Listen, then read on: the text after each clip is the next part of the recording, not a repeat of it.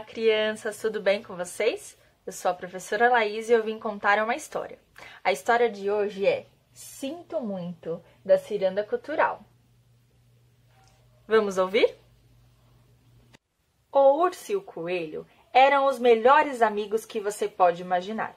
Eles moravam juntos na Casa da Amizade. Eles cozinhavam juntos suas refeições na cozinha da amizade. O coelho fazia deliciosos cogumelos fritos, enquanto o urso fazia bolos de mel perfeitos.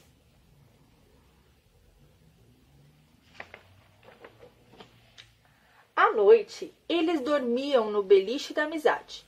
O coelho dormia na cama de baixo e o urso dormia na de cima, porque ele era melhor em escaladas. Durante o verão, eles ficavam na casa da árvore. O coelho contava histórias para o urso, porque ele fazia isso melhor. O sentimento de ser um bom amigo e ter um bom amigo era maravilhoso.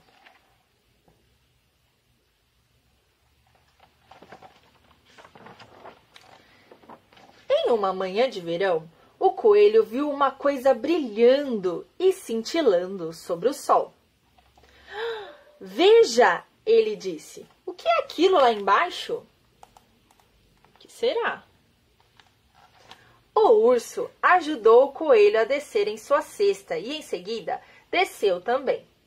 Depois, os dois saíram correndo para ver aquela coisa estranha.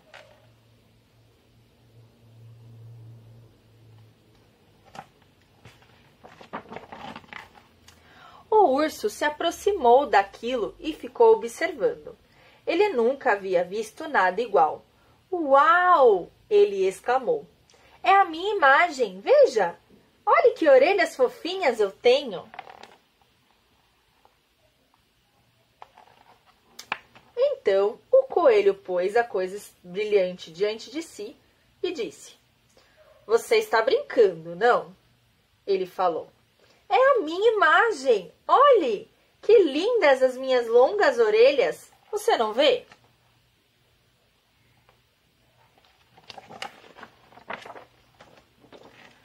Você está completamente enganado, falou o urso, segurando a coisa brilhante. Essas orelhas pequenas, arredondadas e fofinhas são de um urso. É a minha imagem.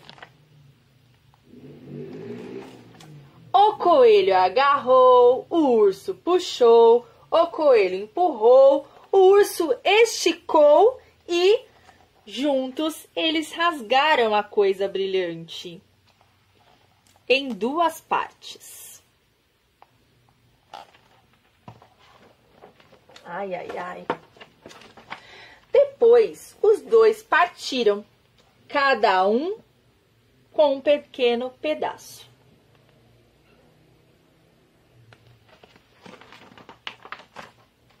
O coelho estava furioso.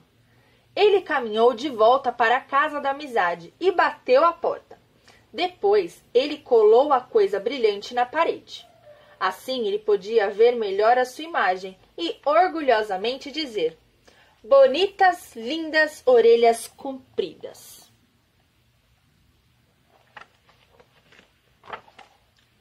Depois, ele foi para a cama. O que mais ele poderia fazer sozinho na casa da amizade?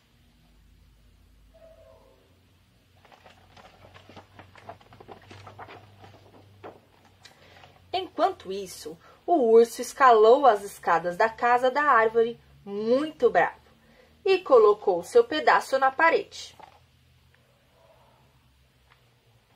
Depois ele sentou-se em uma almofada para admirar sua imagem e suas orelhas arredondadas fofinhas.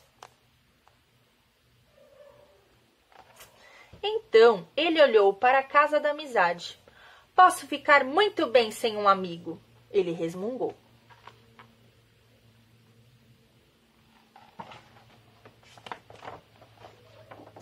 Logo chegou a noite, mas o coelho não conseguia dormir. Ele já não estava mais bravo. Como eu fui tolo, ele suspirou. Seria tão bom se o urso estivesse comigo agora. Assim eu poderia contar-lhe uma história incrível.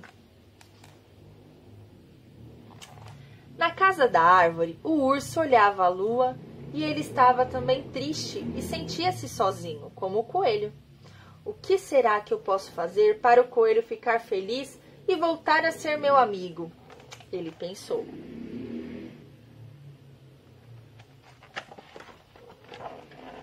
Então, o urso teve uma ideia. Ele pegou a sua parte da coisa brilhante e desceu da árvore. Em silêncio, ele saiu em direção à casa da amizade.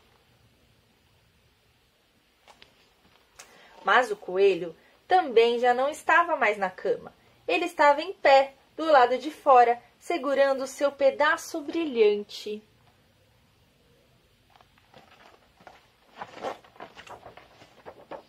Quando viu o urso, o coelho foi ao encontro dele e sussurrou: Sinto muito. Você pode ficar com a minha parte? Oh, não! Eu sinto muito, disse o urso, dando-lhe o seu pedaço. Mas quando os dois se aproximaram e olharam os pedaços da coisa brilhante, o que eles viram? O que será que eles viram, pessoal? Olha lá.